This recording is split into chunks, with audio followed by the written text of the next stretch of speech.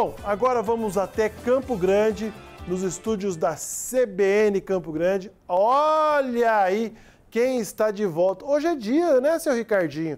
Todo mundo voltando, a Maristela Verdão voltou, o Alfredo Neto voltou. E olha só, senhoras e senhores, quem está de volta aqui na sua tela? Ele, seu Gerson Vassouv, depois de uns dias, né? Estava em Dubai também, seu Gerson, ou estava só em Campo Grande mesmo? Bom dia. Quem dera, eu estava em Campo Grande mesmo. É, infelizmente, eu acabei faltando uns dias na participação com vocês por conta de, de saúde. Tive umas crises de alergia fortes, mas agora já está tudo certo, 100% para levar informações para vocês aí em Três Lagoas.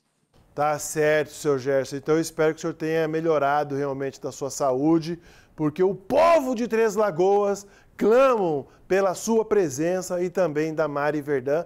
Inclusive, viu, Mari, as mensagens que nós estamos recebendo aqui, que bom que a Mari e o Gerson voltou para este programa de TV da família Três Lagoense.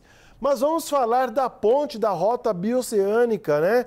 Que inclusive vai ligar aí o Brasil, passa pelo Paraguai e vai até o Chile, né, seu Gerson?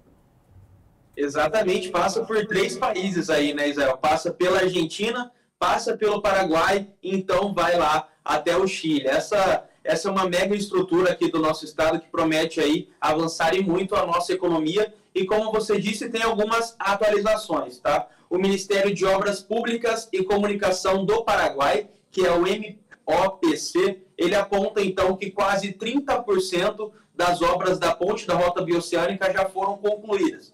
Essa estrutura lá no Paraguai, ela liga a cidade paraguaia de Carmelo Peralta ao município brasileiro de Porto Murtinho, em Mato Grosso do Sul. Quase todas as 300 estacas que fazem parte da base da nova ligação internacional já foram então concluídas nas duas margens do rio, tanto no Paraguai quanto no Brasil. Essa estrutura, Israel, ela é fundamental para, viabilizar a rota bioceânica rodoviária.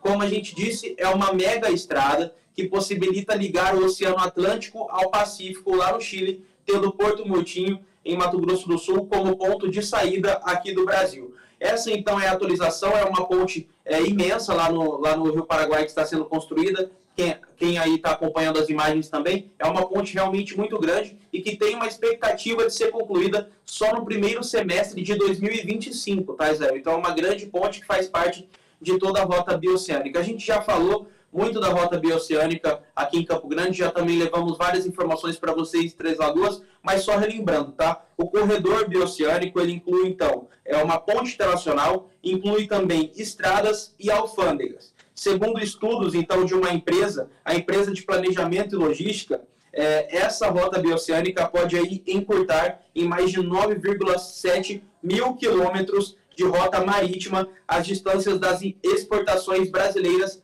para a Ásia. Então, vai facilitar as exportações do Brasil. Só para citar o impacto na movimentação de produtos, para o Mato Grosso do Sul, que produz quatro vezes mais grãos que todo o Paraguai, o corredor significará uma redução de 25% a 30% em custos na hora de escoar todos esses produtos para fora do Brasil.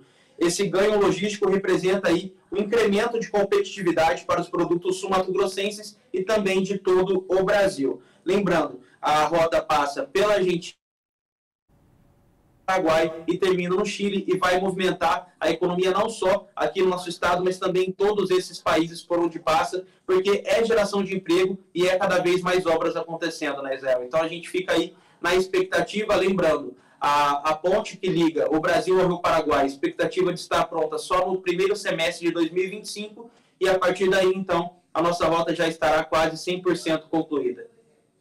Pois é, seu Gerson. Na verdade, além dessa rota ficar pronta, dessa ponte, na verdade, desejo que essa rodovia também fique excelente para o trânsito.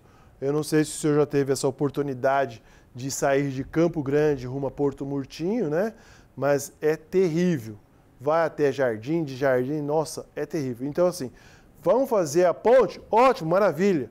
Vai ligar o Brasil, Mato Grosso do Sul? Ótimo mas a rodovia precisa de melhorias. Por que, que eu digo isso, seu Gerson? Porque a BR-262, o trecho Campo Grande, Três Lagoas, Três Lagoas, Campo Grande, aumentou em muito o tráfego de veículos por conta da nossa produção que é gigantesca e nada está sendo feito.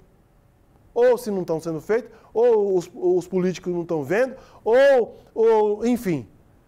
A verdade é que fica um jogo de empurra, DENIT, no governo, prefeito, e aí o povo é que paga. Então a mesma coisa dessa ponte lá que vai a rota bioceânica. Quer construir, construíram, vai inaugurar, vão inaugurar. Mas é bom olhar também para a rodovia dentro do estado. Você imagina o tanto de caminhões que vai aumentar o, o fluxo, passando por passando aqui pelo estado. E vai entrar por onde, meu amigo? Vai entrar por onde? Se o Sudeste, tem duas entradas do Sudeste, tá? Por Três Lagoas e por Bataguaçu, para ligar essa rodovia. Então precisa primeiro olhar para a rodovia. Ah, mas é rodovia federal. Então, senhor deputado, então, senhor deputado federal, senhores senadores, vão conversar com o presidente para olhar as nossas rodovias. Ah, essa rodovia que liga Campo Grande a Porto Murtinho. Tem trecho dela que passa por Cidrolândia Jardim que é estadual. Tem outra parte que é federal. Então, deputado estadual, então, deputado federal, vamos olhar para essas rodovias. Porque vai aumentar o fluxo de caminhões. E, caminho, e caminhões pesados. E caminhões pesados. Precisa olhar aí para esse, esse trânsito, porque realmente vai aumentar o fluxo.